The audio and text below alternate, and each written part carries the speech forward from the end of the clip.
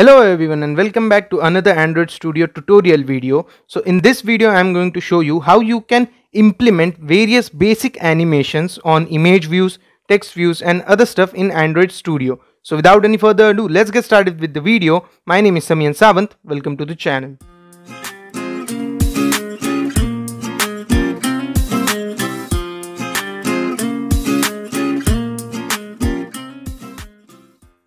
Okay so let's get started. As you can see this is a new project. See hello world. Okay now I'll delete this. Now the first thing that we are going to do is we are going to bring in an image to which we can apply all those animations. So as you can see here app resources drawable. See I brought in this image. The name of the image is image.png alright now I'll bring in this image here. Now if you don't know how to bring in images in Android Studio in constraint layout then there is a video link here up here on the top right. You can click on it and you can check it out so you'll understand the concept. All right so now i'll bring in the image view right in the center of the screen. Okay image. Okay. Now the size of the image is too big so what we'll do is we'll just decrease the size. Okay let's keep it here and we'll just apply all of these to the image. Done. Now once you have brought in the image first important thing is that we'll give it an id so here it already has an id which is image view. Just hit enter. All right. It's already applied. Now once the image is within your screen let's go to the java activity. All right. Now we'll come here. One more thing that we have to do here is that we'll just go here. Okay here search for on click. On click. All right so give some name here. Let's say click. Okay. And I'll hit enter. Now we'll go to the Java activity. What we'll do here is we'll create a method named click. Alright. So whenever we click on that image the particular action will get implemented whatever we have written inside the method. So I'll write public void click and here I'll write view as it is as it is an image view right? So view. Here it will give an error. Just click alt enter and import class. Done. It gets imported. Now open these braces curly braces. Okay once you have done this what we'll do is we'll find the particular image view and assign it to an object. Okay so image view space give the name to the object. All right. So we'll just name it image view. Okay. Which will be equal to first do the casting. Here also you'll write image view. All right. And then our classic find view by id inside it capital r dot id dot we had kept the id image view right? So it will be available here. Just hit enter and then semicolon. Done. We have assigned it to an object now the main part comes in. Okay. Now there are three types of basic animations which I am going to show you. First of all what you have to do is write the name of the object image view dot animate. Alright. Just click on animate. Done. And then press on the dot and see these are the various animations which you can do. Alright. There are various things which you can do. Alright. Now there are three one of the three or four things. Alright. First most basic is alpha alright now once I bring in alpha, alpha means the opacity.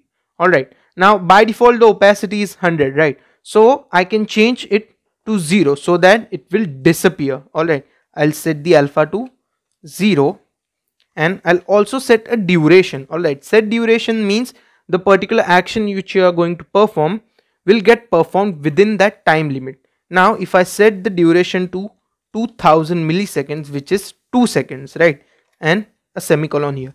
Now if I run the application alright I'll just hit this.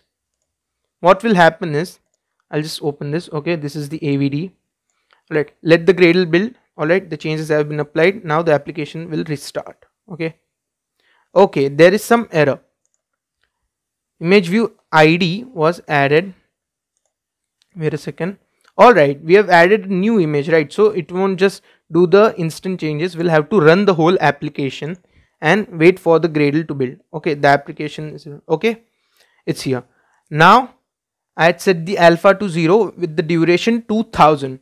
So now once I click this, within 2 seconds this image will disappear let's do it click and as you can see the image has disappeared alright that's the basic animation which is alpha now let's go back alright let the set duration be here okay I'll just erase this alpha now there is an animation translation. Alright there are various of these x y x by y alright so I'll just teach you first of all basic x. Translation x. Translation x means that this is the x-axis and this is the y-axis right? Now the x-axis means now if I write here 250 all right. Let's just take a small number for now so that I can show you. Translation x 250 and now I run this. Okay? Let's open the emulator. Okay. Now once I click on this within 2 seconds see what action happens. Alright? It will shift right on the x-axis okay? So that is translation x. Now if you want it to go on the left side just put a minus here. Alright? And then run the application. And then once you click on it it will go to the left within 2 seconds now if you reduce the duration it will go faster on the left side. It will go within one second. I click this. See it went faster. So that's how you can apply translation X. Now I've just put translation X. Now if I click again on this no action will appear here. But now if I put translation X by and then if I run this okay now I clicked it once now I clicked it twice it will go again. I click it thrice it will go again. Four times it will go again. All right. So that's x by y. Now the same you can do with y. All right. You can just remove this y by and then if you run this application okay now if i click on it it will go up because it is minus. Now it, if it is plus it goes down. All right. I'll just erase this. I'll run it now if i click on it it will go down by 250 now if you want it to go out of the whole screen just double whatever amount you have kept or just keep the number big alright in thousands or something alright it will just go out of your screen within one second. So that's translation by y and y by alright now if I add by same thing it will just go on going down. One click second click third click fourth click and you can just go on with that alright so that was translation by. Now the second animation which I'm going to show you, let's erase this, this first. Alright, now we're done with translation. Second thing we'll go with rotation. Alright, now you can rotate the image. Alright, just we'll just take rotation first. Alright, now there are degrees, right? Now if we rotate it by 360, alright, let's see what happens. 360 within, let's take 2 seconds for now. Rotation 360 for 2 seconds. Apply the changes. Alright, so this is our image. Now if I click on it, it will rotate within a full circle which is 360. Now if I apply 180, let's see what happens. If I apply 180, alright, get it? It will just flip.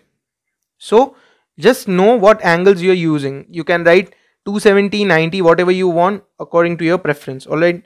Just if you want a whole circle 360 now there's rotation x rotation y. Let's see what it does. Rotation x. All right? Let's keep it like 360 again. Let's run it.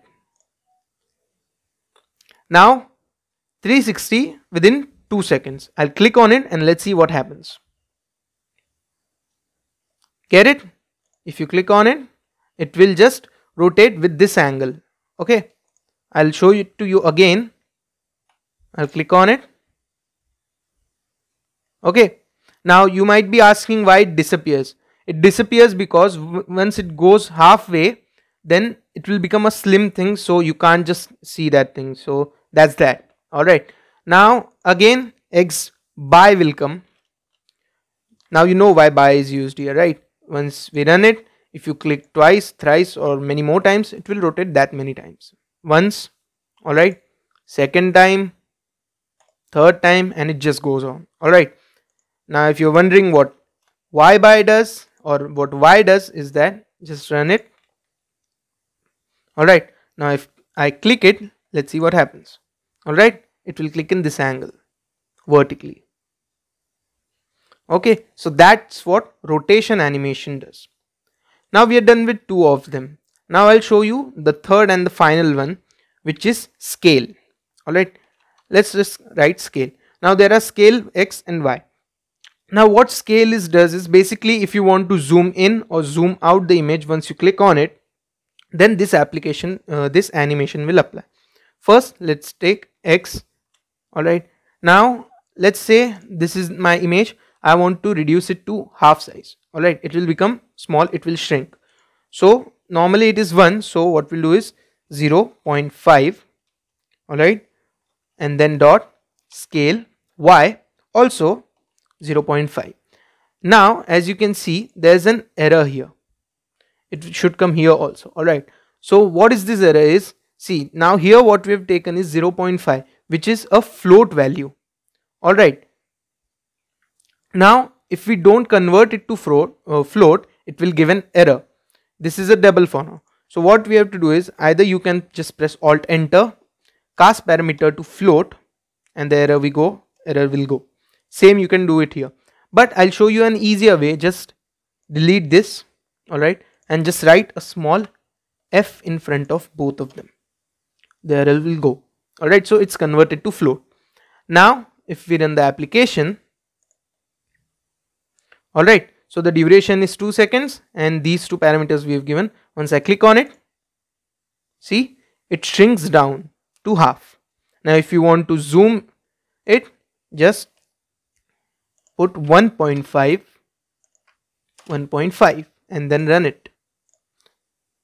Now if I click on it, as you can see, it gets zoomed in. Alright, so that's what scale X and scale Y does. Alright, now one more thing which I can show you is an addition is that let's go back to let's say uh, rotation all right let's take rotation rotation x by let's say 360 or let's take a bigger value so the animation will look good which I'm going to show you now as you can see I've already taken rotation. Now I can also add more animations in the same thing like let's take alpha and let's make it 0 so what will happen here is within 2 seconds it will rotate this many times and then it will disappear. That is within 2 seconds it will rotate this many time and it will make the opacity to 0 now let's run it. Now if I click on it see what happens. It will flip and it will go away.